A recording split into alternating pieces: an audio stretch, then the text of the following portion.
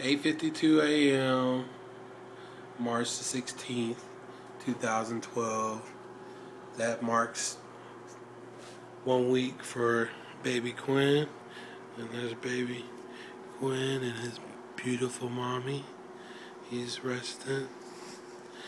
If you notice, we're back at the hospital. We had a minor setback. Mommy wasn't feeling too good, so daddy and mommy or daddy and baby came to make sure mommy was doing okay, and we stayed here.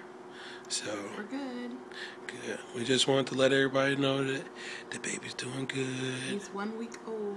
And he's live and in action. Oh, and if you have uh, kids already, keep your um, wife, girlfriend, baby mama, whatever, away from my kid because apparently he inspires women to want to have another child. All right. And on that note, bye, baby. Bye. I love you picking up. He's just signing off. All right. Bye-bye.